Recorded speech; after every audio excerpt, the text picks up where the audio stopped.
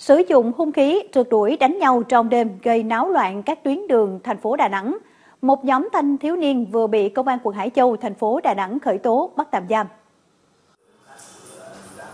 Rạng sáng ngày 1 tháng 5 do mâu thuẫn, hàng chục thanh thiếu niên đã tụ tập, dùng hung khí rượt đuổi đánh một nhóm khác.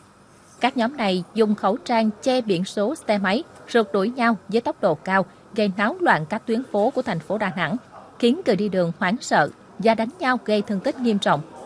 Sau khi vào cuộc điều tra làm rõ, Công an quận Hải Châu, thành phố Đà Nẵng đã tống đạt quyết định khởi tố vụ án, khởi tố bị can, bắt tạm giam 5 đối tượng vì tội cố ý gây thương tích và gây rối trật tự công cộng.